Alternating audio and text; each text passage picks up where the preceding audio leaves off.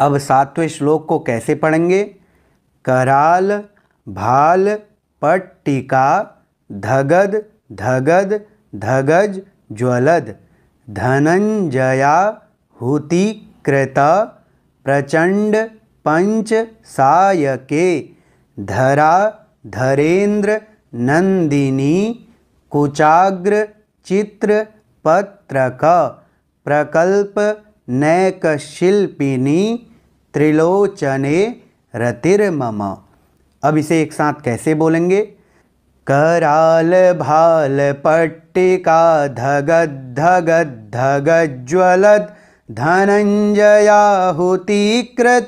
प्रचण्ड पञ्चसायके धराधरेन्द्रनन्दिनी कुचाग्रचित्रपत्रका प्रकल्पनैकशिल्पिनी त्रिलोचने रतिर्मम अब आठवें श्लोक को कैसे पढ़ेंगे?